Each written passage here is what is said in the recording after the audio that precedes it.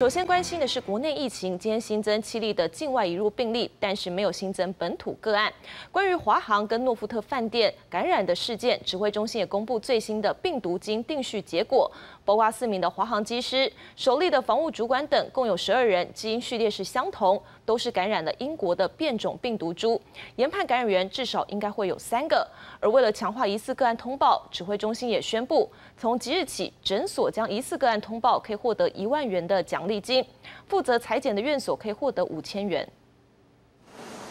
华航机师与诺富特饭店感染事件已经造成二十八人染疫，至今机组员和饭店员工感染源仍不明。疫情指挥中心公布最新基因定序结果。按一零七八、一零七九、一零九一及一零九二等四位华航机师与诺富特员工，从首例防务主管目前重症的按一一二零，到新增的防务部员工、餐饮部员工以及外包水电工等五人，同住家属按一一三五、一一三六、一零九零等，总共十二人的病毒基因序列相同，都是感染英国变种病毒株。另外按一一零二机师与确诊儿子按一一三三以及女儿按一一三七，一家三口。基因序列也相同，都是英国变种病毒株。不过研判这起家庭群聚是另一起感染事件。那我们现在没有判定说谁给谁哈，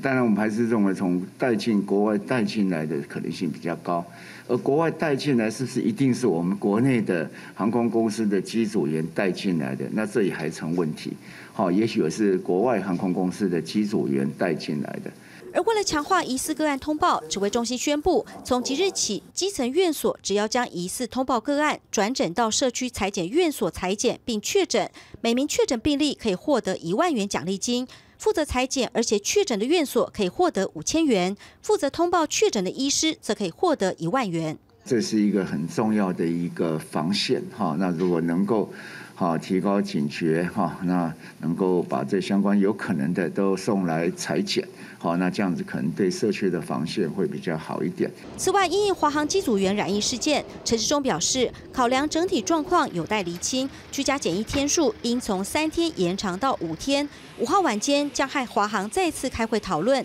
清零计划，预计六号中午对外公布。至于确诊机师按一一五三在自主健康管理期间违规外出到餐厅聚会，将由民航局调查后开罚，最重可以罚十五万元。记者赖淑明、蒋龙祥推报道。